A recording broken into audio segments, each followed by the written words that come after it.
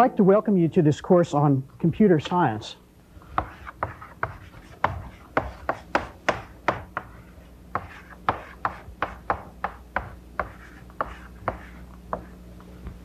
Actually, that's a terrible way to start. Uh, computer science is a terrible name for this business. First of all, it's not a science. It uh, might be engineering or it might be art. Or we'll actually see that computer, so-called science, actually has a lot in common with magic. And we'll see that in this course. So it's not a science. It's also not really very much about computers. And it's not about computers in the same sense that, that physics is not really about particle accelerators. And uh, biology is not really about microscopes and petri dishes. And uh, it's not about computers in the same set, sense that geometry is not really about uh, using surveying instruments. In fact, there's a lot of uh, commonality between computer science and geometry. Geometry, first of all, is another subject with a lousy name. Uh, the name comes from Gaia, meaning the earth, and metron, meaning to measure. Geometry originally meant measuring the earth or, or surveying. And the reason for that was that thousands of years ago, the Egyptian priesthood developed the rudiments of geometry in order to figure out how to restore the, the boundaries of fields that were destroyed in the annual flooding of the Nile. And to the Egyptians who did that, geometry really was the use of surveying instruments. Now, the reason that we think computer science is about computers is pretty much the same reason that the Egyptians thought geometry was about surveying instruments, and that is when some field is just getting started and you don't really understand it very well, it's very easy to confuse the essence of what you're doing with the tools that you use. And indeed, on some absolute scale of things, we probably know less about the essence of computer science than the ancient Egyptians really knew about geometry. Well, what's, what do I mean by the essence of computer science? What do I mean by the essence of geometry? See, it's certainly true that these Egyptians went off and used surveying instruments. But when we look back on them after a couple of thousand years, we say, gee, what they were doing, the important stuff they were doing was to begin to formalize notions about space and time. To start a way of talking about mathematical truths formally that led to the axiomatic method that led to sort of all of modern mathematics. Figuring out a way to talk precisely about so-called declarative knowledge, what is true. Well, similarly, I think in the future, people will look back and say, yes, those, those primitives in the 20th century were fiddling around with these gadgets called computers. But really what they were doing is starting to learn how to formalize formalize intuitions about process, how to do things. Right.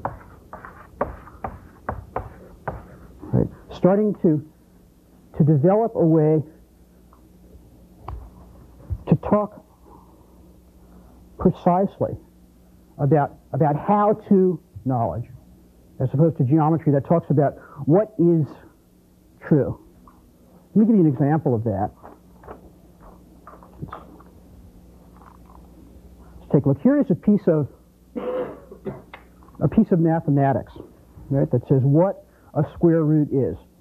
Right? The square root of x is the number y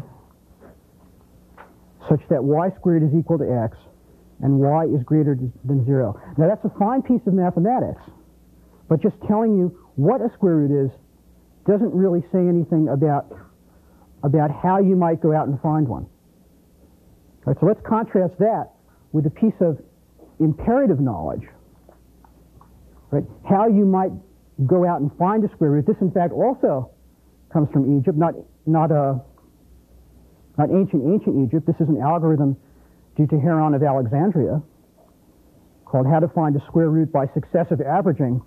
And what it says is that in order to find a square root, in order to find a square root, you uh, make a guess, you improve that guess, and the way you improve the guess is to average the guess and x over the guess, and we'll talk a little bit later about what, why that's a reasonable thing. And you keep improving the guess until it's good enough. But that's a method. That's how to do something as opposed to declarative knowledge that says what you're looking for. Right? That's a process.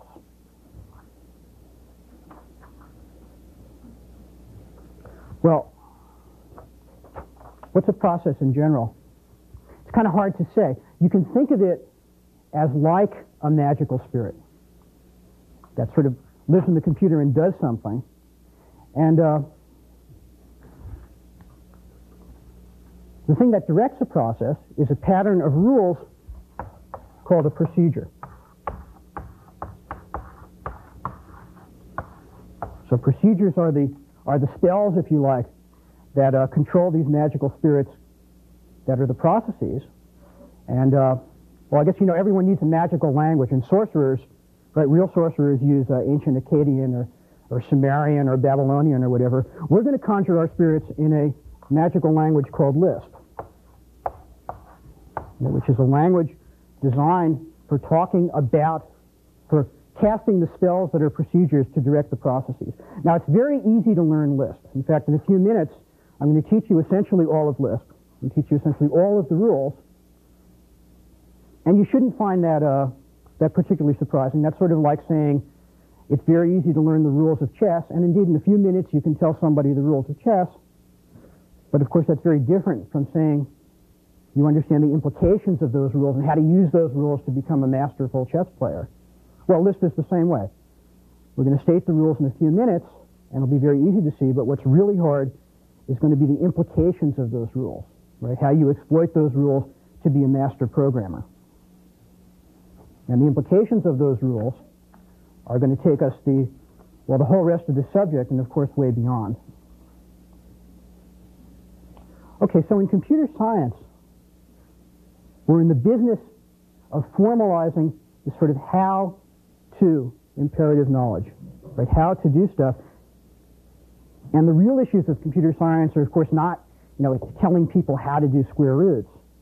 Because if that was all it was, there wouldn't be no big deal. The real problems come when we try to build very, very large systems, right? Computer programs that are, that are thousands of pages long, so long that nobody can really hold them in their heads all at once. And the only reason that that's possible is because there are techniques, there are techniques for controlling the complexity of these large systems. And these techniques for controlling complexity are what this course is really about. And in some sense, that's really what computer science is about. Now, that may seem like a very strange thing to say, because after all, a lot of people, besides computer scientists, deal with controlling complexity. Right? A, a large airliner is an extremely complex system, and the aeronautical engineers who design that are, you know, are dealing with immense complexity.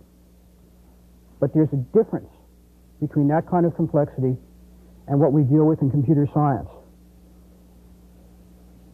And that is that, that computer science, in some sense, isn't real. You see, when an engineer is designing a physical system that's made out of real parts, right, the engineers who worry about that have to address problems of tolerance and approximation and noise in the system. So, for example, as an electrical engineer, I can go off and easily build a one-stage amplifier or a two-stage amplifier, and I can imagine cascading a lot of them to build a million-stage amplifier, but it's ridiculous to build such a thing because by the long before the millionth stage, the thermal noise in those components way at the beginning is going to get amplified and make the whole thing meaningless. Computer science deals with idealized components. Right? We know as much as we want about these little program and data pieces that we're fitting things together. Right? So there's, we don't have to worry about tolerance, and that means that in building a large program, there's not all that much difference between what I can build and what I can imagine. Because the parts are these abstract entities that I know as much as, much as I want. I know about them as precisely as I'd like. So as opposed to other kinds of engineering where the constraints on what you can build are the constraints of physical systems, the constraints of physics and noise and approximation, the constraints imposed in building large software systems are the limitations of our own minds. So in that sense, computer science is like an abstract form of engineering. It's the kind of engineering where you ignore the constraints that are imposed by reality. Okay, well, what are what are some of these techniques? Uh, they're not special to computer science. First technique, which is used in all of engineering, is kind of abstraction called black box abstraction.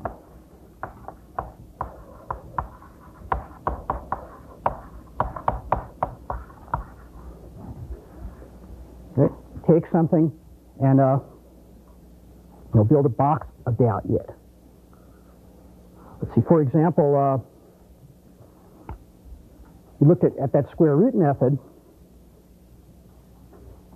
I might want to take that and build a box. That sort of says to find the square root of x, and that might be a whole complicated set of rules, and that might end up being a kind of thing where I can put in, say, 36 and say, what's the square root of 36? And out comes 6. Okay? And the important thing is that I'd like to design that so that if uh, George comes along and would like to compute, say, the square root of A plus the square root of B, he can take this thing and use it as a as a module without having to look inside and build something that looks like this. Might be an A and a B and a square root box and another square root box and then something that adds. That would put out the answer. And you can see just from the fact that I want to do that is from George's point of view, the internals of what's in here should not be important. So for instance, it shouldn't matter that when I wrote this, I said, I want to find the square root of x. I could have said the square root of y, or the square root of a, or, or anything at all.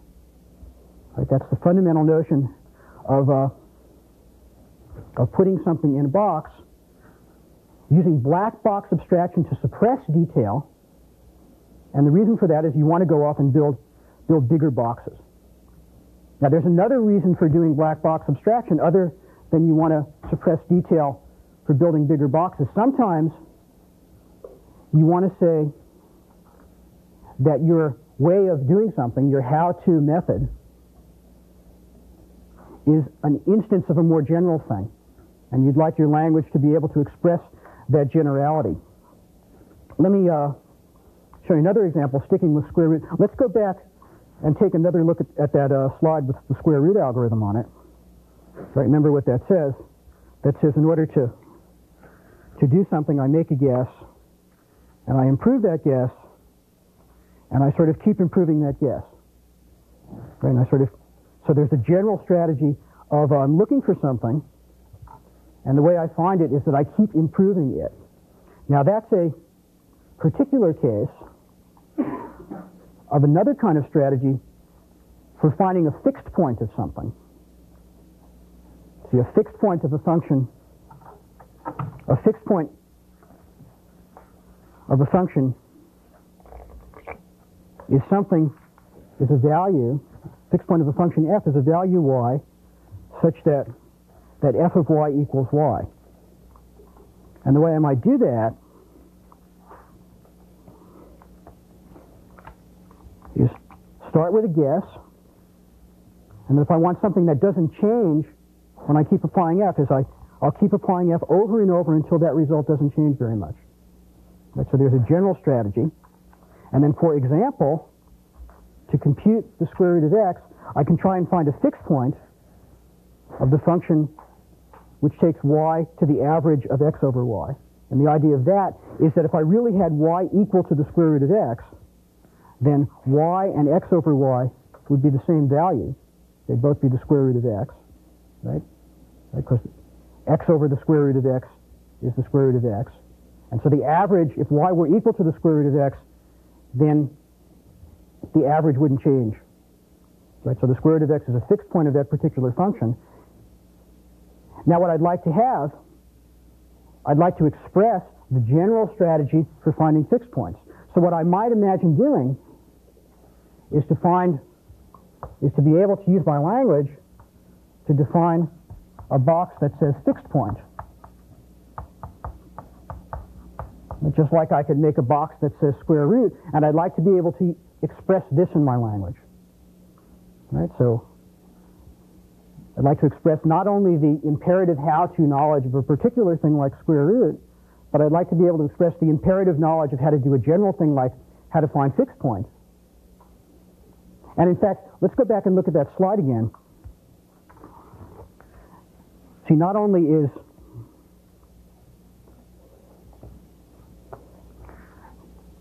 is this a piece of imperative knowledge, how to find a fixed point, but over here on the bottom, there's another piece of imperative knowledge, which says one way to compute square root is to apply this general fixed point method. So I'd like to also be able to express that imperative knowledge. What would that look like? That would say this fixed point box is such that if I input to it the function that takes y to the average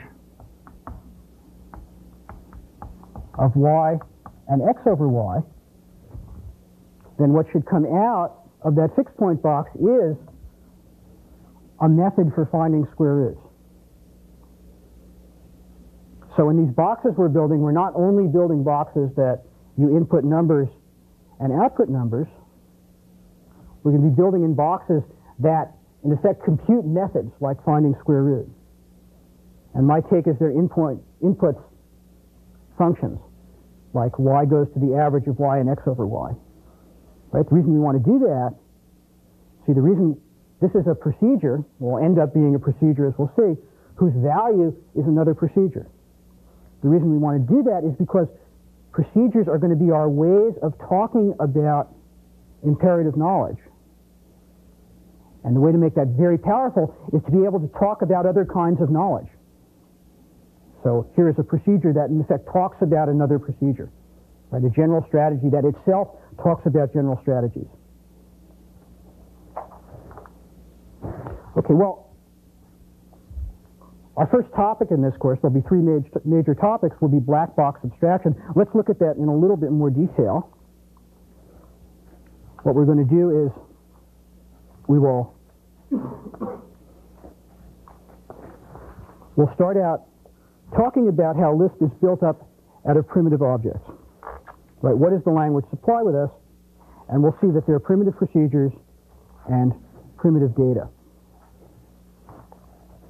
Then we're going to see how do you take those primitives and combine them to make more complicated things. Right? Means of combination. And what we'll see is that there are ways of putting things together, putting primitive procedures together to make more complicated procedures. And we'll see how to put primitive data together to make compound data. Then we'll say, well, having made those compound things, how do you abstract them? How do you put those black boxes around them so you can use them as components in more complex things? And we'll see that's done by defining procedures and a technique for dealing with compound data called data abstraction. And then what's maybe the most important thing is going from just the rules to how does an expert work?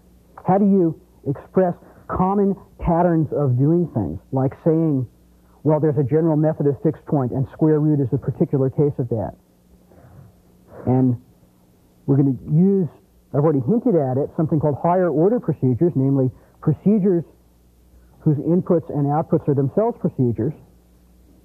And then we'll also see something very interesting. We'll see as we go further and further on and become more abstract, there'll be very, well, the line between what we consider to be data and what we consider to be procedures is going to blur at an incredible rate. Okay. All right, well, that's, uh, that's our first subject, black box abstraction. Let's look at the second topic.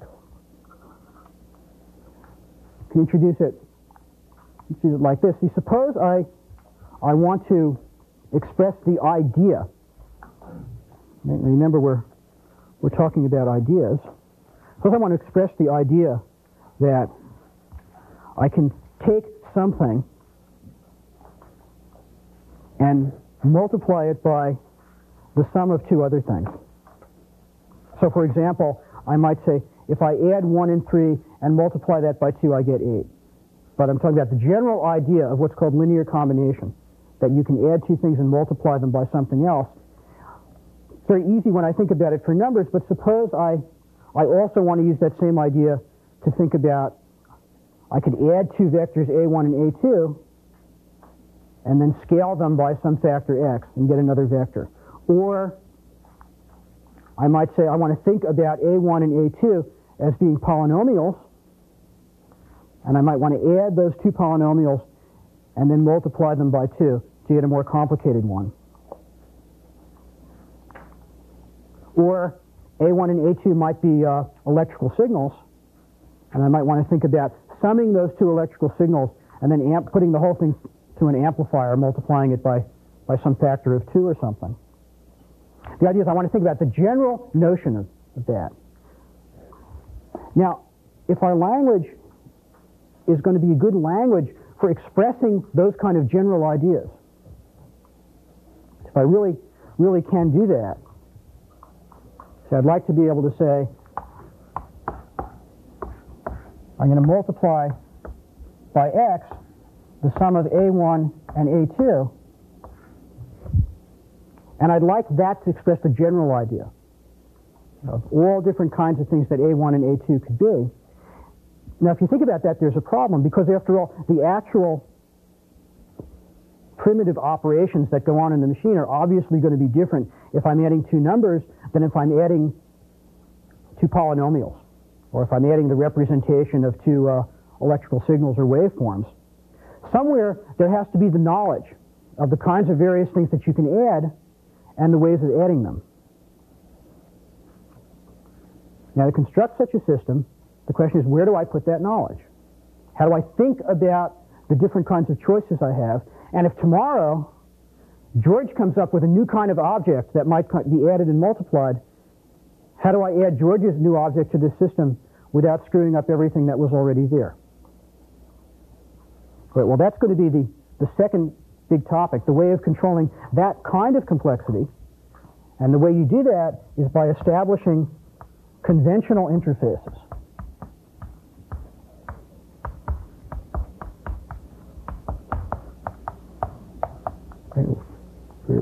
agreed upon ways of plugging things together, just like uh, in electrical engineering, people have standard impedances for connectors.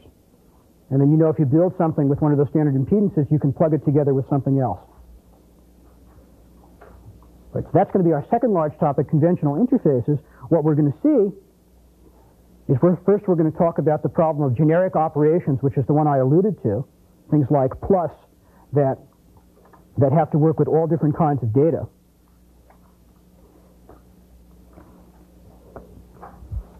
So we talk about generic operations. Then we're going to talk about really large-scale structures.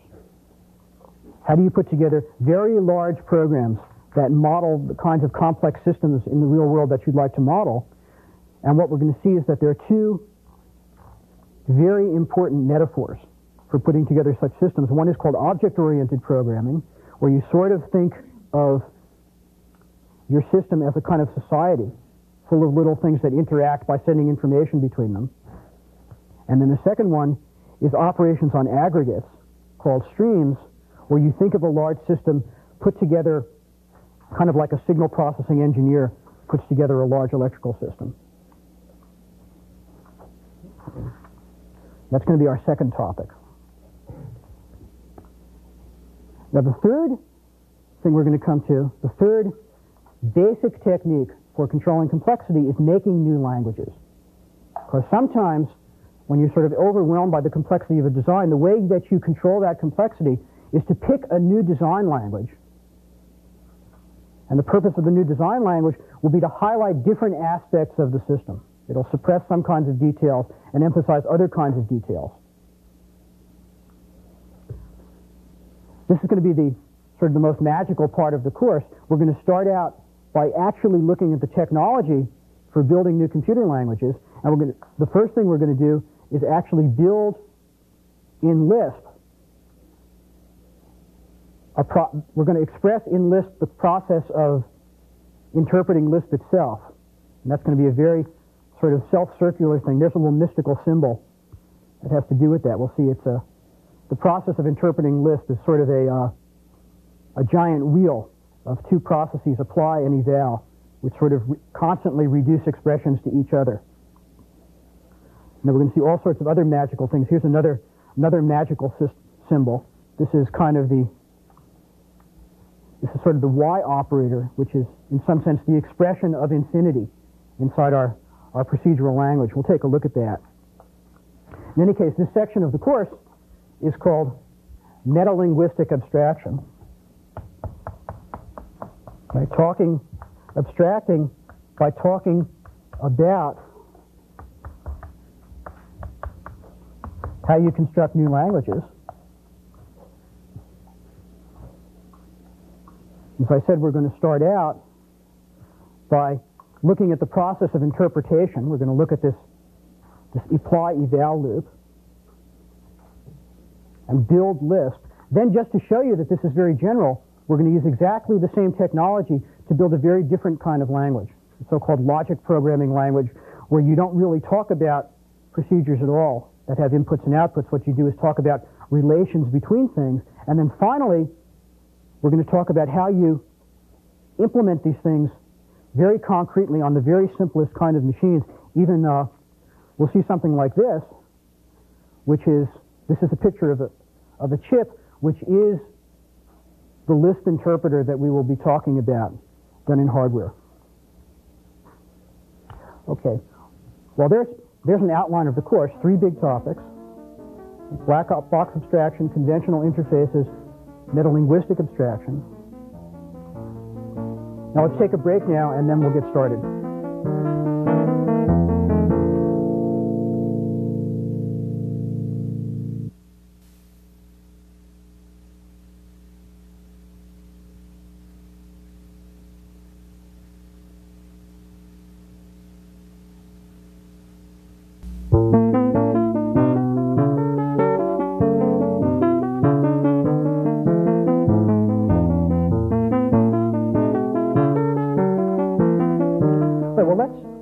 Actually start in learning Lisp now.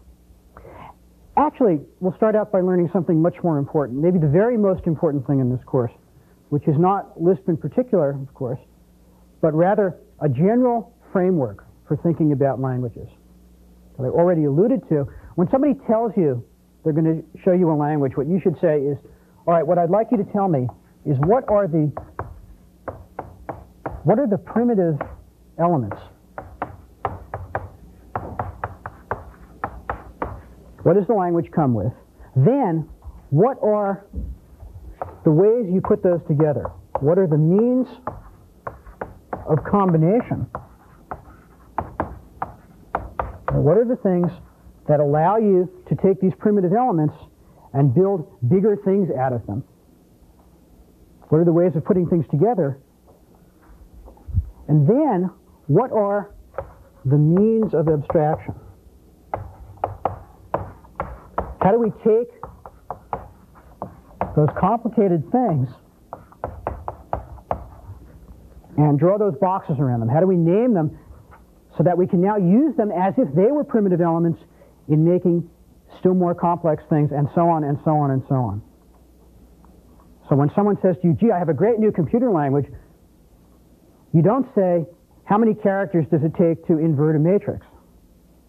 Right? It's irrelevant.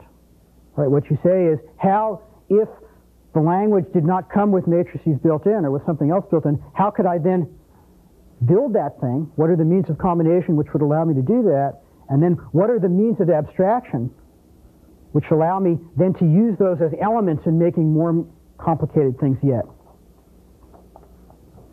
Right, well, we're going to see that Lisp has some primitive data and uh, some primitive procedures.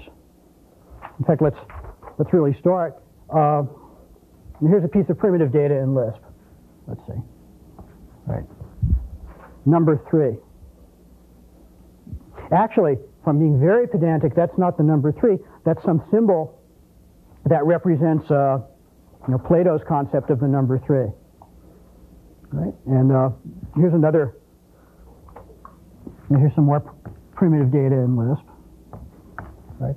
Right? 17.4, actually some representation of 17.4. And uh, here's another one, 5. Here's another primitive object that's built in Lisp. Addition actually use the same kind of pedantic. This is a name for the primitive method of adding things, just like this is a name for Plato's number three. This is a name for Plato's concept of how you how you add things. But so those are some primitive elements. Uh, I can put them together. I can say, gee, what's the sum of 3 and 17.4 and 5? And the way I do that is to say, let's apply the sum operator to these three numbers, and I should get, what, 8, 17, I should be able to ask Lisp what the value of this is, and it'll return 25.4. Uh, let's introduce some names. This thing that I typed is called a combination.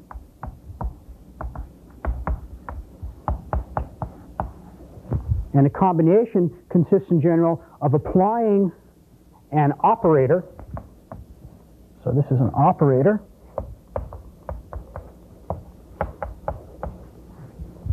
to some operands. These are the operands.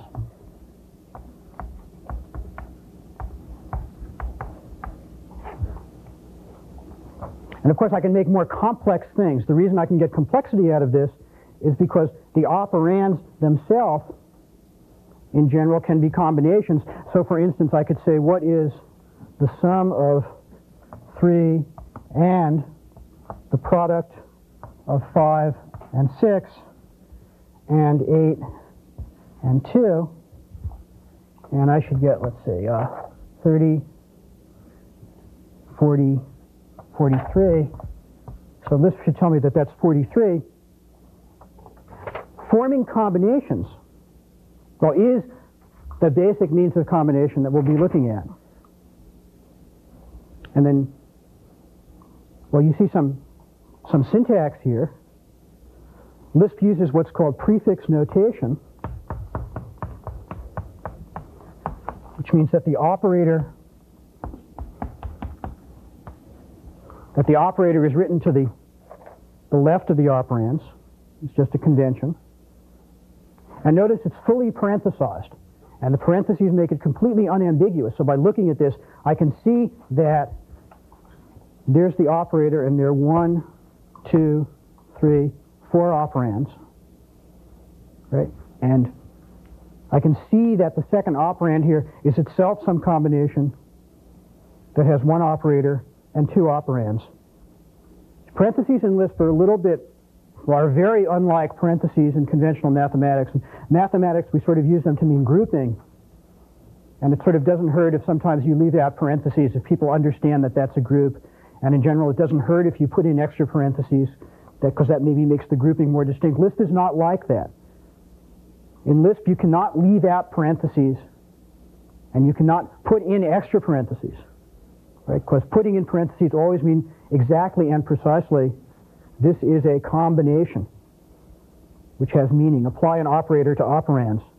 And if I left this out, if I left those parentheses out, it would mean something else. In fact, the way to think about this is really what I'm doing when I write something like this is writing a tree.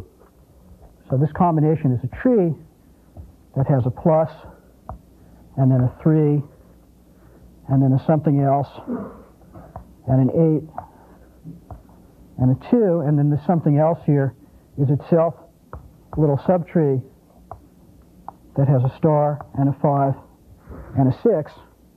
And the way to think of that is really what's going on while we're writing these trees, and parentheses are just a way to write this two-dimensional structure as a linear character string. Because uh, at least when Lisp first started and people had teletypes or punch cards or whatever, this was more convenient and they couldn't, maybe if Lisp started today, we would, the syntax of Lisp would look like that. Well, let's, let's look at what that actually looks like on the computer. Right here I have a, a Lisp interaction set up. There's an editor. And on the top, I'm going to type some values and ask Lisp what they are. So for instance, I can say to Lisp, what's the value of that symbol? That's 3. And I ask Lisp to evaluate it, and there you see Lisp is returned on the bottom and said, oh yeah, that's 3.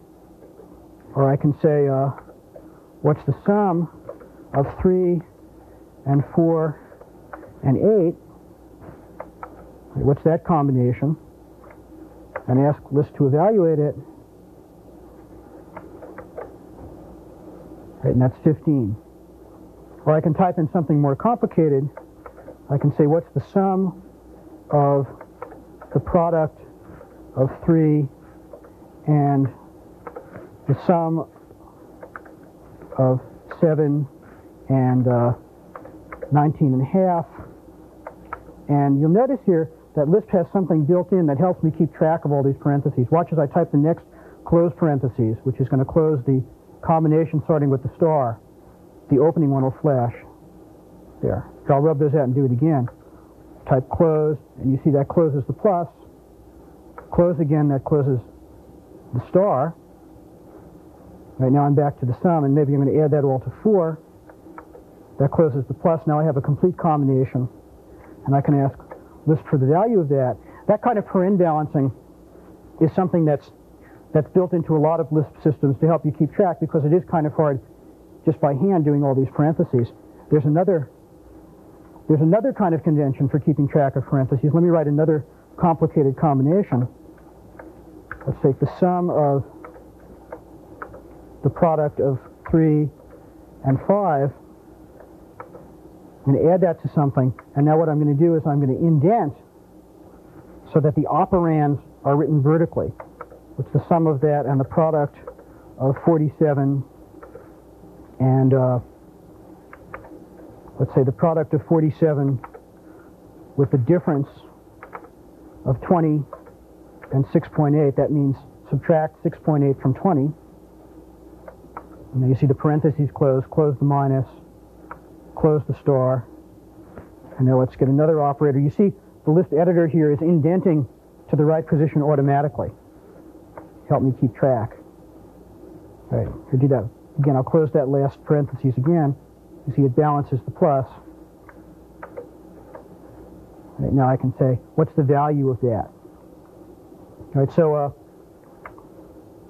those two things, indenting to the right level, which is called pretty printing, and uh, flashing parentheses are two things that a lot of Lisp systems have, have built in to help you keep track, and you should learn how to use them. Okay, well, those are the primitives. There's a means of combination. Now let's go up to the means of abstraction. Right, I'd like to be able to take the idea that I do some combination like this and abstract it and give it a simple name so I can use that as an element, and I do that in Lisp with define. I could say, for example, define A to be the product of 5 and 5. Okay. And now I could say, say, for example, to Lisp, what is the product of A and A? Right, and this should be 25 and this should be 625. And then, crucial thing, I can now use A.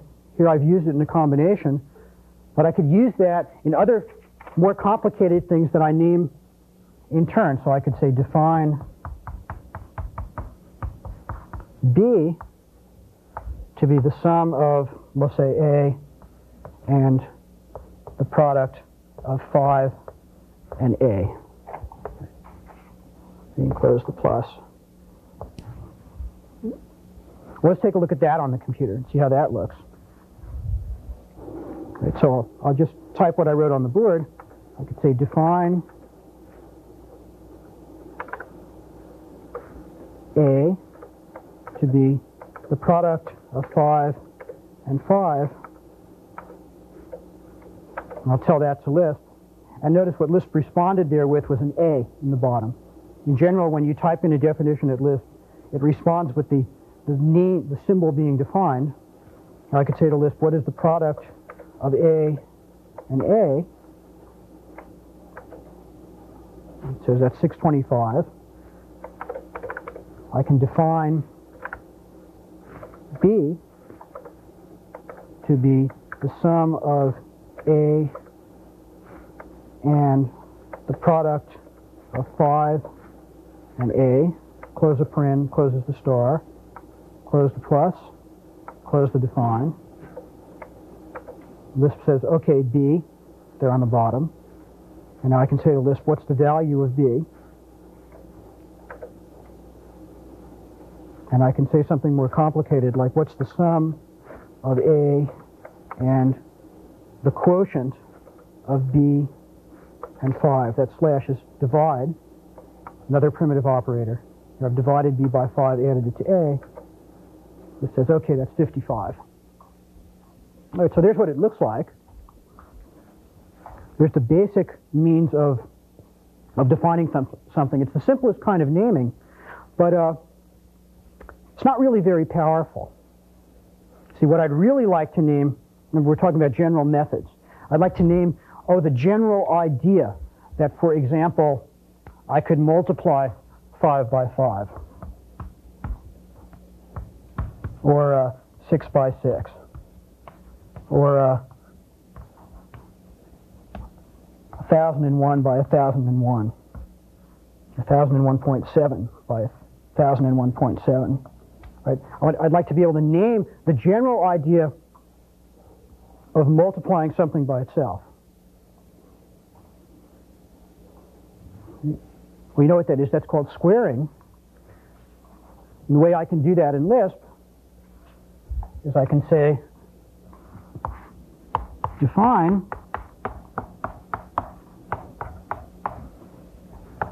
to square something x, multiply x by itself. And then having, having done that, I could say to Lisp, for example, what's the square of 10? And this will say 100. Now, let's actually look at that a little more closely. Right there's the definition of square. To square something, right, multiply it by itself.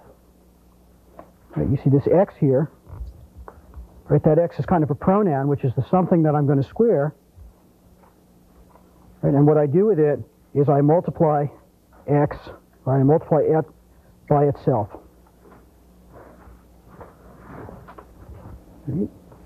Okay. All right, so there's a notation for, uh, for defining a procedure. Actually, this is a little bit confusing because this is sort of how I might use square, and I say square of x or square of 10, but it's not making it very clear that I'm actually naming something. So let me write this definition in another way that makes it a little bit more clear that I'm naming something. I'll say define square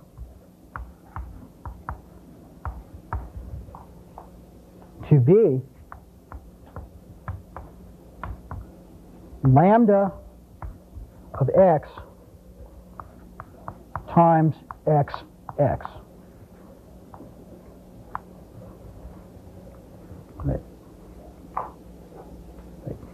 Here I'm naming something square, right? just like over here I'm naming something a. The thing that I'm naming square, here I named, the thing I named a was the value of this combination. Here the thing that I'm naming square is this thing that begins with lambda, and lambda is Lisp's way of saying make a procedure. Let's look at that more closely on the slide. The way I read that definition is to say I define square to be make a procedure. That's what the lambda is.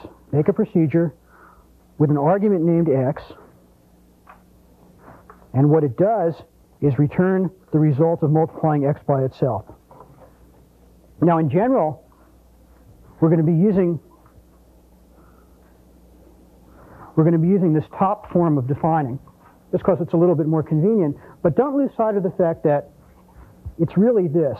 In fact, as far as the Lisp interpreter is concerned, there's no difference between typing this to it and typing this to it. And there's a word for that. Word, sort of syntactic sugar. What syntactic sugar means, it's having somewhat more convenient surface forms for typing something. So this is just really syntactic sugar for this underlying thing with the lambda. And the reason you should remember that is don't forget that when I write something like this, I'm really naming something. I'm naming something square, and the something that I'm naming square is a procedure that's getting constructed. Okay, well let's let's look at that on the computer too. Okay. So I'll come in, I'll say define square of x to be times x x and I can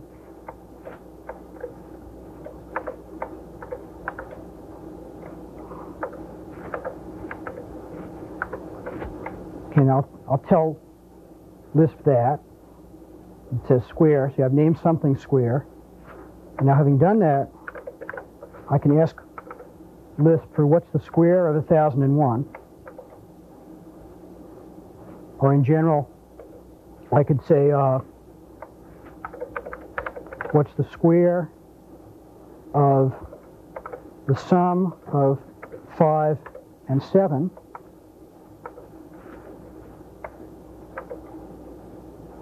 Right? Square of 12 is 144. Or I can use square itself as an element in some combination. I can say, what's the sum of the square of 3 and the square of 4? Right? 9 and 16 is 25. Or I can use square as an element in some much more complicated thing. I can say, what's the what's the square of the square of the square of uh, 1001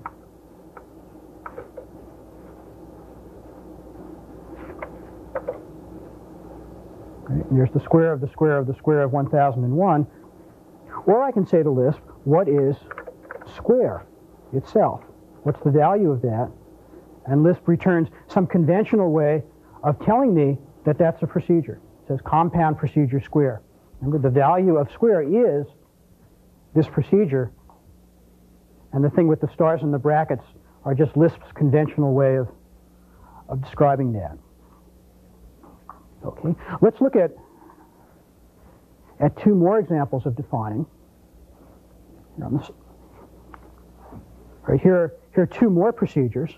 I can define the average of x and y to be the sum of x and y divided by 2.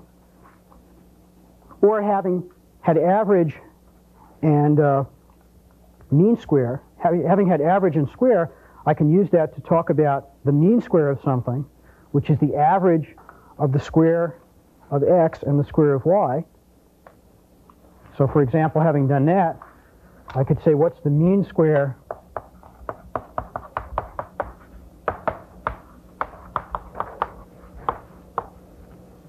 of 2 and 3, and I should get the average of 4 and 9, which is 6.5.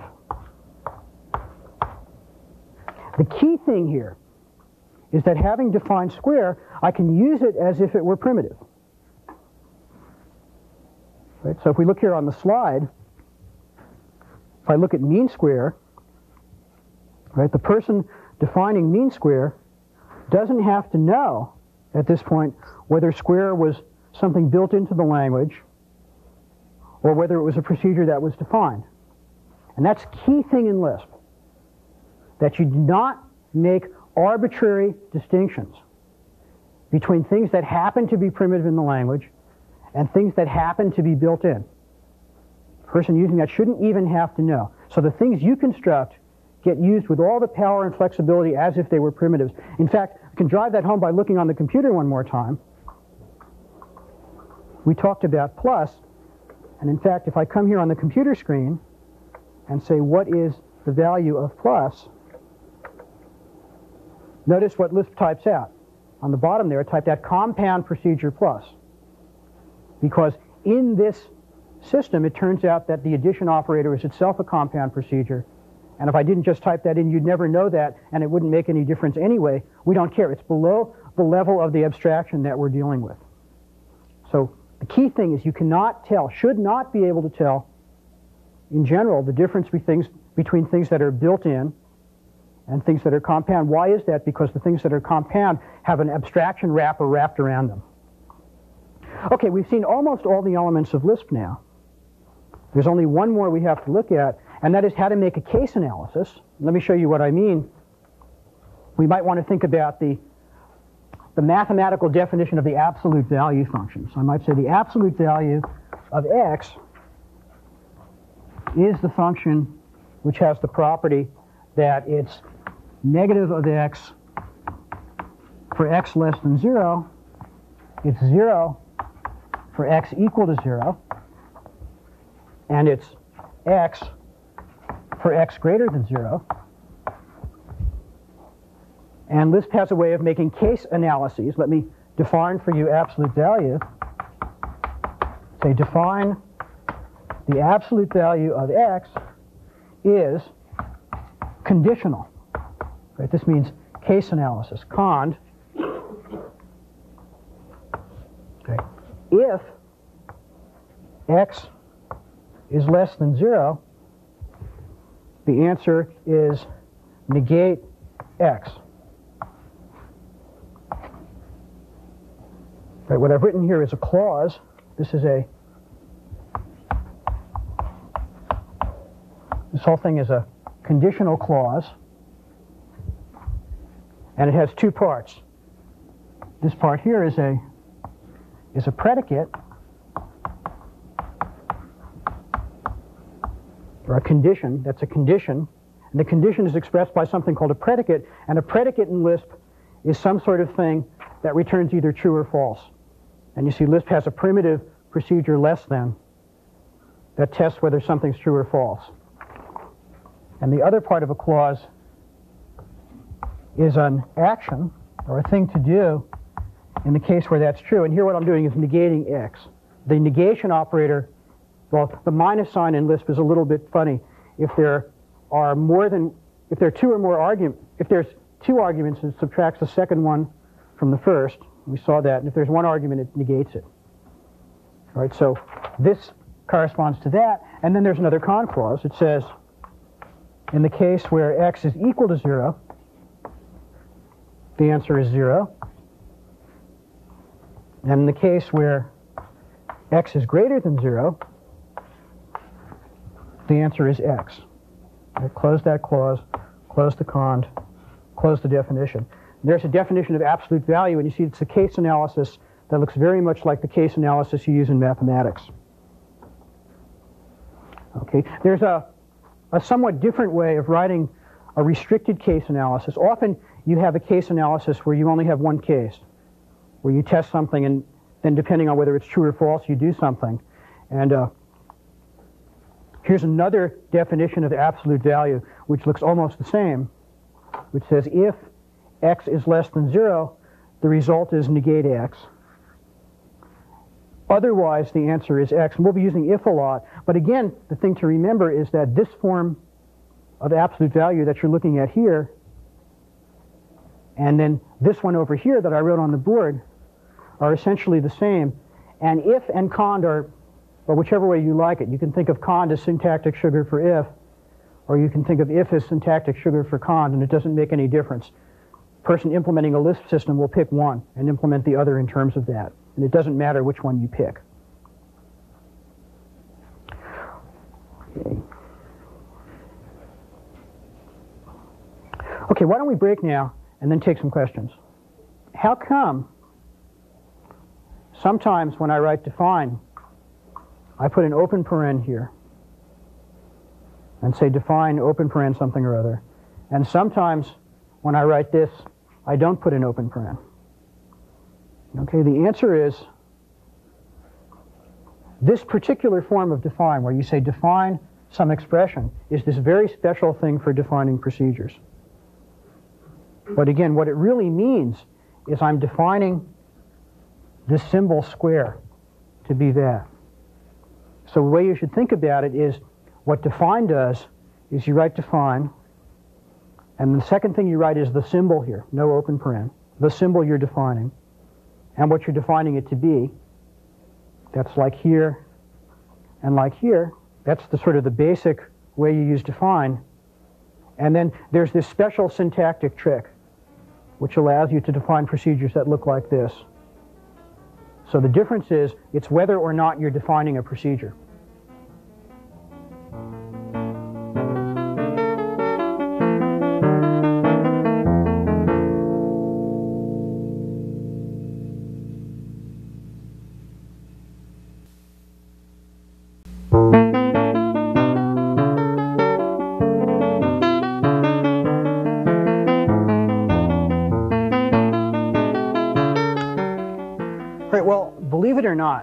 Actually now know enough Lisp to write essentially any numerical procedure that you'd write in a language like Fortran or BASIC or whatever, or essentially any other language. You're probably saying that's, a, that's not believable, right? Because you know that these languages have things like for statements and, and do until while or something. But uh, we don't really need any of that. In fact, we're not going to use any of that in this course. Let me let me show you by, again, looking back at, at square root. Let's go back to this uh, square root algorithm of Heron of Alexandria. Remember what that said? It said to uh, find an approximation to the square root of x. You make a guess. You improve that guess by averaging the guess and x over the guess. You keep improving that until the guess is good enough. I already alluded to the idea. The idea is that if the initial guess that you took, if that initial guess was actually equal to the square root of x, then g here would be equal to x over g. So if you hit the square root, averaging them wouldn't change it. If the g that you picked was larger than the square root of x, then x over g will be smaller than the square root of x, so that when you average g and x over g, you get something in between. Right? So if you pick a g that's, that's too small, your answer will be too large. If you pick a g that's too large, if your g is larger than the square root of x, then x over g will be smaller than the square root of x. So averaging always gives you something in between, and then it's not quite trivial, but it's, it's possible to show that in fact, if g misses the square root of x by a little bit, the average of g and x over g will actually keep getting closer to the square root of x. So if you keep doing this enough, you'll eventually get as close as you want. And then there's another fact that you can always start out this process by using 1 as an initial guess. And it'll always converge to the square root of x. Right, so that's this method of successive averaging due to Heron of Alexandria. Let's, uh, let's write it in Lisp. Well, the central idea is uh, what does it mean to try a guess for the square root of x. Okay, let's write that. So we'll say define to try a guess for the square root of x. What do we do? We'll say if the guess is good enough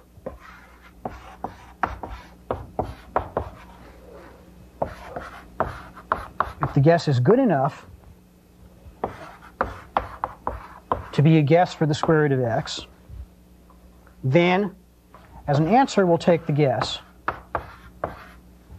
Otherwise, we will try the improved guess. We'll improve that guess for the square root of x, and we'll try that as a guess for the square root of x. Close the try, close the if, close the define. So that's how we try a guess. And then the next part of the process said, in order to compute square roots, we'll say define to compute the square root of x, we will try 1 as a guess for the square root of x. Well, we have to define a couple more things. Uh, we have to say, how is a guess good enough? And how do we improve a guess? So let's look at that. The algorithm to improve a guess, right, to improve a guess for the square root of x, we average, that was the algorithm, we average the guess with the quotient of dividing x by the guess. Right, that's how we improve a guess. And to tell whether a guess is good enough, well, we have to decide something. Let's, this is supposed to be a guess for the square root of x. So one possible thing you can do is say, when you take that guess and square it, do you get something very close to x? For example, so what that one way to say that is to say I square the guess, subtract x from that, and see if the absolute value of that whole thing is less than some small number, which depends on my purposes. Right? Okay, so there's a there's a complete procedure for how to compute the square root of x. Let's uh, look at the structure of that a little bit. Right? I have the whole thing. I have the notion of how to how to compute a square root. That's some kind of module, right? That's some kind of black box. It's defined in terms of right? It's defined in terms of how to try a guess for the square root of x. Try is defined in terms of, well, telling whether something's good enough and telling how to improve something. So good enough. Try is defined in terms of good enough and improve. And let's see what else I fill in. Well, you all go down this tree, good enough was defined in terms of absolute value and square, and improve was defined in terms of something called averaging, and then some other primitive operator. So try, square root is defined in terms of try. Try is defined in terms of good enough and improve, but also try itself. So try is also defined in terms of how to try itself. Well, that may give you give you some problem, right? Your your high school geometry teacher probably told you that it's it's naughty to try and define things in terms of themselves because it doesn't make sense, but that's false. Right? Sometimes it makes perfect sense to define things in terms of themselves, and this is a case. And we can look at that, we can write down what this means, and say, suppose I ask Lisp what the square root of 2 is. Well, what's the square root of 2 mean? Well, that means I try 1 as a guess for the square root of 2. Right, now I look, I say, gee, is, is 1 a good enough guess for the square root of 2? And that depends on the test that good enough does. And in this case, good enough will say, no, 1 is not a good enough guess for the square root of 2. So that'll reduce to saying I have to try the improved, an improved, improved 1 as a guess for the square root of 2, and try that as a guess for the square root of 2. Improving 1 for the, as a guess for the square root of 2 means I average 1 and 2 divided by 1. All right, so this is going to be the average. This piece here will be the average of 1 and the quotient of 2 by 1. Right, so that's, that's this piece here. And I'm going to try, right, and this is 1.5.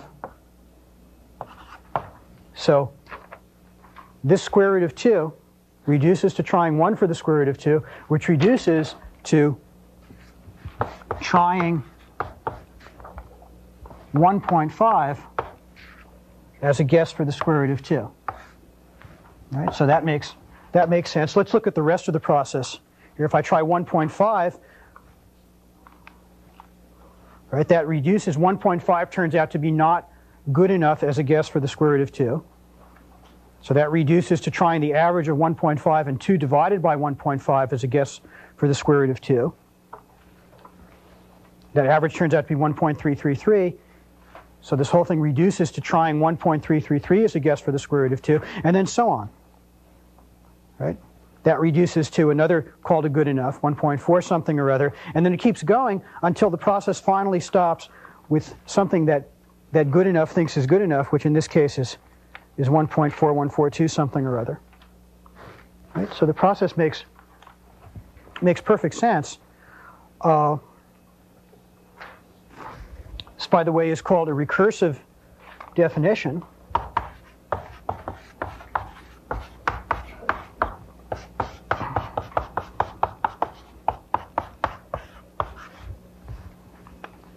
And uh, the ability to make recursive definitions is a source of incredible power. And as you can already see, I've hinted at it's the thing that effectively allows you to do these infinite computations that go on until something is true right, without having any other constructs other than the ability to call a procedure. Well, let's see, there's one more thing that I said. Let me show you a variant of this definition of square root uh, here on the slide. Here's a here's a sort of the same thing. What I've done here is packaged the definitions of improve and good enough and try inside square root. So in effect, what I've done is I built a square root box. So I built a box. That's the square root procedure that someone can use. They might put in 36 and get out 6. And then packaged inside this box are the definitions of try and good enough and uh, improve. So they're hidden inside this box. And the reason for doing that is that if someone's using the square root, if George is using the square root, George probably doesn't care very much that when I implemented square root, I had things inside there called try and good enough and improve. And in fact, Harry might have a cube root procedure that has try and good enough and improve. And in order to not get the whole system confused, it would be good for Harry to package his internal procedures inside his cube root procedure. The way this is called block structure, this particular way of packaging internals inside of a definition. And uh, let's go back and look at the slide again. The way to read this, this kind of procedure is to say to define square root. Well, inside that definition, I'll have the definition of an improve and the definition of good enough and the definition of try. And then, subject to those definitions, the way I do square root is to try 1. And notice here I don't have to say 1 as a guess for the square root of x, because since it's all inside this square root, it sort of has this x known. Okay. Okay. Okay, well, let me, let me summarize. We started out with the idea that what we're going to be doing is expressing imperative knowledge. And in fact, here's a, here's a slide that summarizes the way we, we looked at Lisp. We started out by looking at some primitive elements and addition and multiplication, uh, some predicates for testing whether something's less than or something's equal. And in fact, we saw really sneakily in the system we're actually using, these aren't actually primitives, but it doesn't matter. What matters is we're going to use them as if they're primitives. We're not going to look inside. We also have some primitive data, like some numbers. We saw some means of composition, means of combination, the basic one being composing functions and building combinations with operators and operands. And there were some other things like cond and if and define.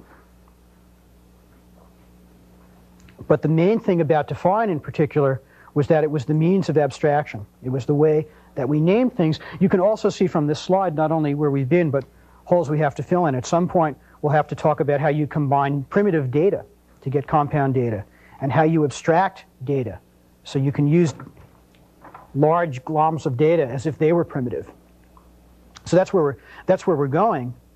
But uh, before we do that, for the next couple of lectures, we're going to be talking about, first of all, how it is that you make a link between these procedures we write and the processes that happen in the machine, and then how it is that you start using the power of Lisp to talk not only about these individual little computations, but about general conventional methods of doing things.